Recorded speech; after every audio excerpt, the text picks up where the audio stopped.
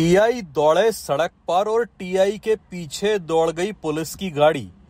Video में दौड़ लगाते हुए नज़र आ रहे यह शख्स हैं इंदौर के विजयनगर थाने के टीआई तहजीब काजी। टीआई काजी ड्यूटी खत्म होने के बाद देर रात अपने घर जाने के लिए दौड़ लगाते हुए निकले।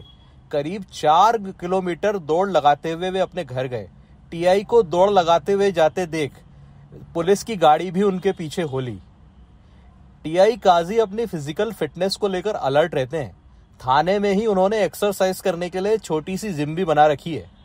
ड्यूटी खत्म होने के बाद वे कभी कभी वर्कआउट भी करते हैं।